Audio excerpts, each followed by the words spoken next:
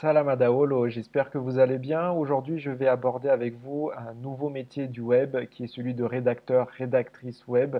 Et euh, je vais ouvrir du coup une nouvelle série de formations que j'ai décidé d'intituler euh, Écrire pour le web. Et on verra dans cette première euh, formation comment organiser et structurer sa rédaction pour le web. Avant de vous mettre sur votre clavier et de commencer à rédiger concrètement le texte, il faut d'abord le préparer. Pour cela, eh il faut définir le cadre dans lequel va évoluer votre texte. Vous pouvez dans un premier temps analyser le territoire de communication de votre client. J'ai trouvé une définition sur le web euh, de territoire de communication. Donc c'est un concept qui fait référence aux formes et aux domaines de communication considérés comme légitimes et habituels pour une marque donnée. C'est en lien du coup avec le territoire de marque. Dans un second temps, je vous invite vraiment à demander à votre client de vous fournir la charte éditoriale du site sur lequel vous allez rédiger. C'est euh, un, document qui encadre toutes les règles de rédaction qui doivent euh, être respectées. Ça comprend notamment eh euh, le ton, le style, est-ce que vous utilisez le vouvoiement, le tutoiement, quelles sont les sources autorisées et même certaines formes d'expression à privilégier. Enfin, dans un troisième temps, vous pouvez concevoir un mind map. Vous voyez, j'ai mis un lien dans la présentation qui vous permet d'accéder à quelques exemples.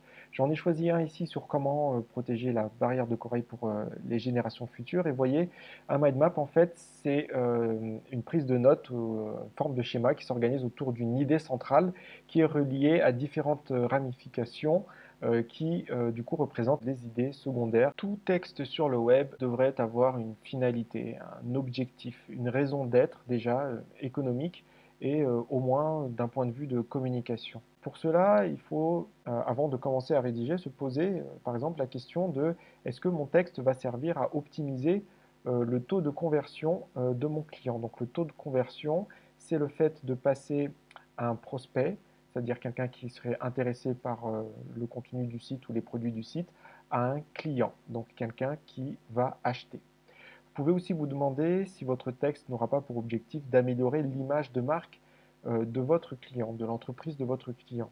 Peut-être qu'il fait face à des critiques négatives et que du coup, il vous a confié la mission de rédiger un article pour euh, redorer un petit peu son blason. Ou alors peut-être que votre article va avoir pour objectif de provoquer plus d'engagement auprès des lecteurs c'est-à-dire les encourager à partager par exemple plus de contenu sur euh, leurs réseaux sociaux ou à liker votre nouvel article ou euh, tout simplement à s'abonner à un flux de contenu. Enfin, vous pourriez aussi avoir pour objectif de soutenir ou de promouvoir un événement, un webinar par exemple ou un événement en ligne.